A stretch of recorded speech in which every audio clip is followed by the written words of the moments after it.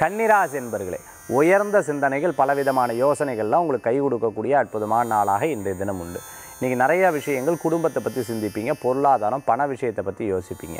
ச்சே கெட்ட பேர் வர்றது ரொம்ப சீக்கிரமாக வந்துடும் ஆனால் நல்ல பேர் கிடைக்கிறது ரொம்ப கஷ்டம். அதனால் முடிஞ்ச வரைக்கும் பெரியவங்கக்கிட்ட ரொம்ப மதிப்பு மரியாதையாக பேசுகிறது நல்லது. நம்ம கோவத்தை அவங்கக்கிட்ட காண்பிக்கிறத தவிர்த்துக்கிறது நல்லது. வாகனத்தில் போகிறோம் தெரியாமல் நம்ம வந்து லேசாக இப்படி சாஞ்சிட்டோம்.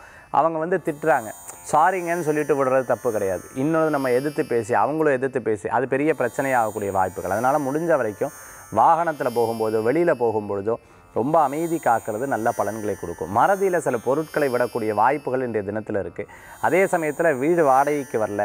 வீடு சம்மந்தமான விஷயம் அதே மாதிரி தோட்டம் சம்மந்தமான விஷயம் அதே சமயத்தில் நம்ம லீஸுக்கு விட்டுருக்கக்கூடிய விஷயங்கள்லாம் உங்களுக்கு இந்த பிரச்சனைகள்லாம் இன்றைக்கி சால்வ் ஆகிறதுக்குண்டான வாய்ப்புகள் கூடி வரக்கூடியதாக இருக்கும். கணவன் மனைவிக்குள்ளே காலையில் இருக்கக்கூடிய சின்ன சின்ன பிரச்சனைகள் மாலை வேலைகளில் சரியாகும். இன்றைய தினத்தில் அதிர்ஷ்டம் தரக்கூடிய அற்புத எண் நான்கு நிறம் காவி வழிபாட்டுக்குண்டான தெய்வம் குபேரர் வழிபாடு கன்னிராசி என்பவர்களுக்கு செல்வத்தை உயர்த்தும் அற்புத வழிபாடு.